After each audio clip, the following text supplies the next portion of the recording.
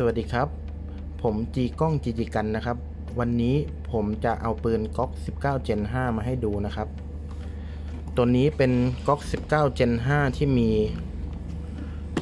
ล่องสไลด์ด้านหน้านะครับก๊อก 19 Gen 5 จะมีอยู่ ประมาณ 3-4 แบบนะครับ แบบแรกGlock 19 Gen 5 จะไม่มีร่องสไลด์นะครับร่องตรงนี้นะครับร่อง checker หน้า แล้วก็จะไม่ปาดตรงนี้นะครับ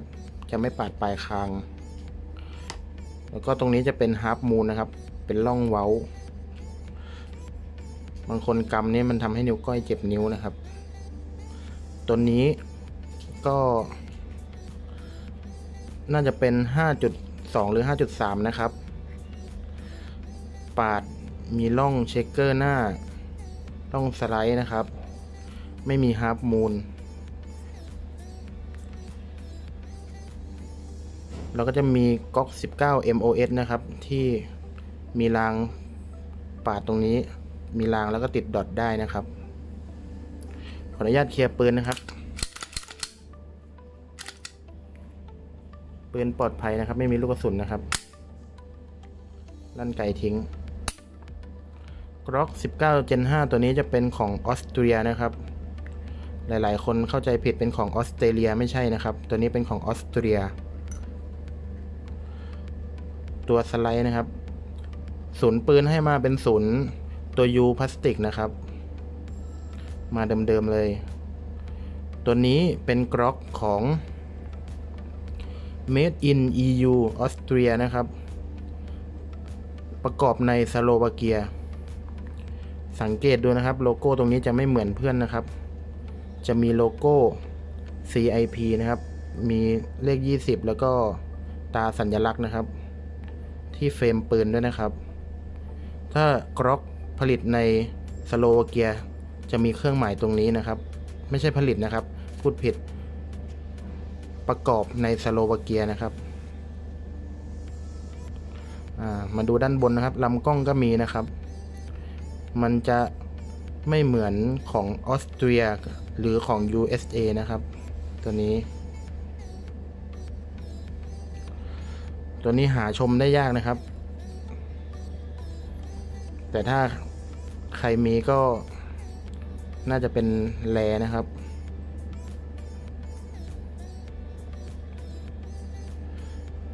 ในกล่องปืนก็จะมี magazine 2ตัวนะครับ บรรจุ 15 นัด ลิ้นสีส้ม แล้วก็พร้อมตัวช่วยโหลดกระสุนนะครับ แล้วก็ใบคู่มือต่างๆนะครับแส้แล้วก็ก้านแส้นะครับ ปืนกร็อก15 19 Gen 5ตัวเนี้ย ไกลมันเดิมๆมัน 5.5 ปอนด์นะครับ แต่ผมได้ลอง test แล้วนะครับ ไก นุ่ม smooth มากนะครับ ไหลลื่นได้ดีนะครับ การจัดศูนย์เล็งแล้วลากไกเนี่ย ค่อนข้างจะนิ่งนะครับ ส่วนใครที่อยากน้ำหนักไกเบาก็สามารถแต่งได้นะครับ เปลี่ยนสปริงเข็มสปริงสมอสปริงขึ้นไกเปลี่ยน connector นะครับ ไกก็อาจจะเหลือ 3.5 3ถึง3.5 ปอนด์ได้เลยนะครับ ตัวปืนก็ประมาณนี้นะครับ เปรียบเท่าฝ่ามือนะครับ ตัวนี้จะเป็น compact นะครับ Glock 17 จะเป็น full size นะครับ compact แล้วก็ Glock 43 43x จะเป็น subcompact นะครับ เดี๋ยวเราจะเอากล็อก 43x มาเปรียบเทียบกันนะครับ นี่ Glock 43x นะครับ ตัวนี้ ไม่มีลูกกระสุนนะครับ เดี๋ยวผมขอขออนุญาตเคลียร์แป๊บหนึ่งอ่า ตัวนี้เป็นลูกดัมมี่นะครับ เคลียร์ก่อนนะครับ ลูกดัมมี่นี่นะครับกร็อก19 Gen 5 กับกร็อก 43x ตัวนี้ แตกต่างกันตรงไหนเอ่ยเรามาเทียบดูเลยนะครับ ทียบกันลำกล้องกรอก19 จะยาวกว่านิดนึงนะครับ นี่นะครับ ประมาณ1เซนติเมตรได้นะครับ1เซน1 2เซนเดี๋ยวผมขออนุญาตเอาไม้บรรทัดมาวัดดีกว่านะครับ พี่ๆเพื่อนๆจะได้รู้นะครับ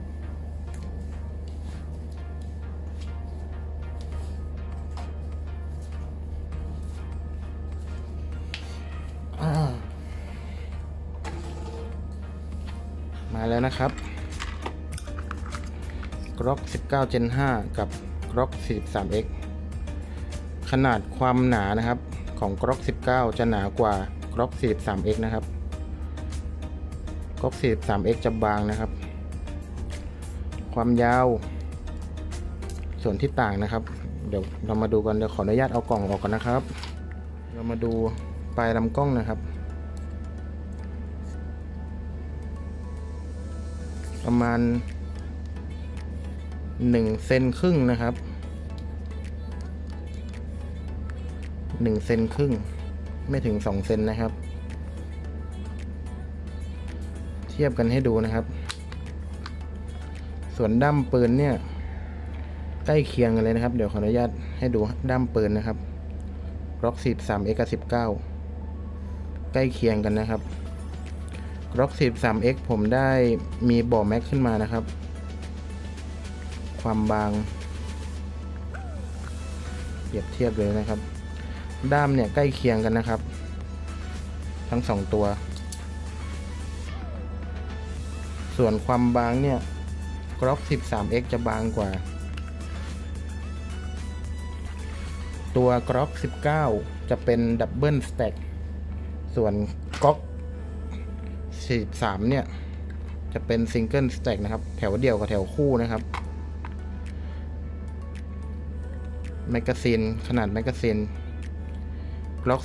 19 จะสามารถบรรจุได้ 15 นัด ส่วน 43x บรรจุได้ 10 นัดนะครับ เรามาให้ดูกันประมาณนี้ ส่วนใคร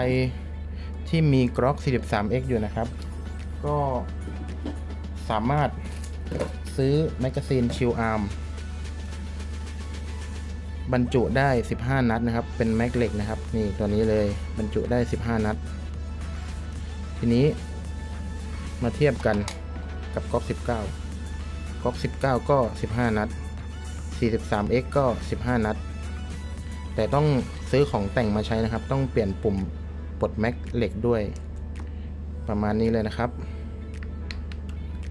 เปรียบเทียบกันให้ดูเลย ความบาง ความหนานะครับ ส่วนที่แตกต่างก็คือ ความบาง แล้วก็ความยาวของลำกล้องนะครับสองตัวนี้ ห่างกันประมาณ1เซนครึ่งนะครับ ส่วนด้ามปืนเนี่ย ใกล้เคียงกันเลยนะครับ เท่ากันเลย เดี๋ยวเรามาใส่แม็กดูกันนะครับ ใส่แม็ก 13x ใส่แม็กกร็อก19 นะครับ เรามาดู เห็นไหมครับ เป๊ะๆนะครับ ใกล้เคียงกันมาก ต่างกันที่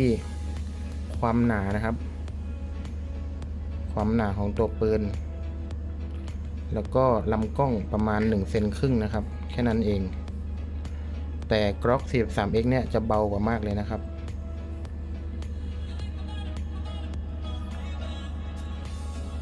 ส่วนตัวถ้าให้พกนะครับก็แนะนำจะเป็นกรอก43 หรือ 43x นะครับ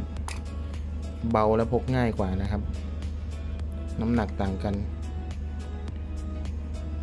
ส่วนปืนใช้งานปืนป้องกันตัวก็ แนะนำกร็อก 19 นะครับ หลายๆ คนก็มีปืนกระบอกแรกแนะนำกร็อก 19 กันนะครับ แต่ 43x ค่อนข้างได้เปรียบสำหรับการพกพานะครับ ก็วันนี้จะมารีวิวเพียงเท่านี้นะครับ ผมจีก้องจีจิกัน สวัสดีครับ